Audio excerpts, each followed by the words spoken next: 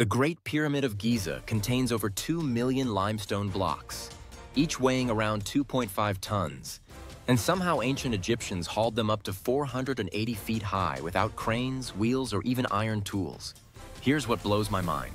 They likely used wooden sleds dragged over sand that workers deliberately wet because scientists discovered that damp sand reduces friction by 50%, making it twice as easy to pull massive stones. But it gets crazier. The pyramid's base is perfectly level within just one inch across its 755-foot width, and its sides align almost exactly with true north with an accuracy of just 3.6 arc minutes. And that's better precision than many modern buildings.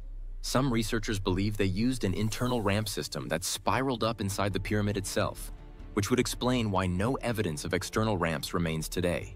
The construction took roughly 20 years, meaning workers had to set one block every five minutes working around the clock. Even more mind-blowing, the mortar used between blocks is so strong that it's actually harder than the limestone itself. Yet we still don't know its exact chemical composition. And here's the kicker. The entire structure weighs about 6 million tons, but sits on bedrock carved so precisely that the base remains stable after 4,500 years. No aliens needed, just thousands of skilled workers, ingenious engineering, and techniques so effective they still puzzle us today.